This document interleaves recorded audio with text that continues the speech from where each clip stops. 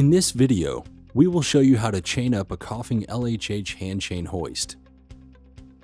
Before we get started, let's discuss why you would need to chain up a hoist.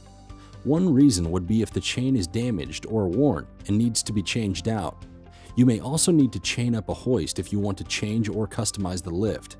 So, let's get started. First, you'll need to decide the length, grade, and size of the chain you need. It's important to ensure you use the correct chain as specified by the hoist manufacturer.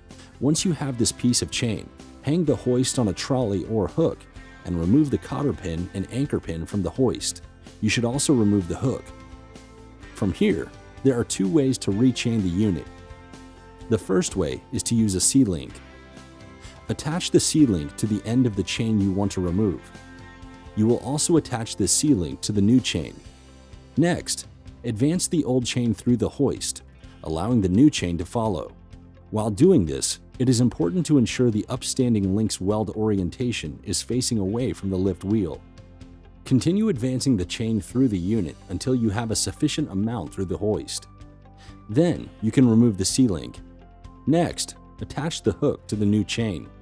When you attach the hook, ensure the lower hook and the upper hook are in line with each other. Then, reattach the dead end back to the hoist using a new cotter pin. The second way to rechain your hoist is by using a zip tie or a piece of wire. For this example, we'll use a zip tie. For this method, first, you'll need to remove the cotter pin and anchor pin, as well as the hook.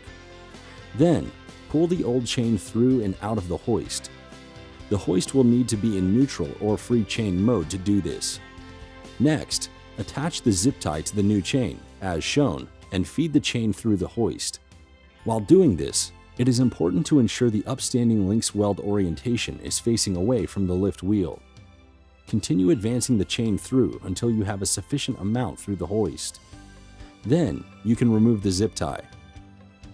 Next, attach the hook to the new chain and reattach the dead end using a cotter pin. Again, when you attach the hook, ensure the lower hook and the upper hook are in line with each other. Whether you use a C-link or a zip tie, you will need to do an operational test to ensure the chain and hoist are functioning properly. Once the operational test is complete, you should also complete a static or dynamic load test. For more safety information or to learn more about the Coffing LHH, visit www.cmco.com or visit our YouTube channel.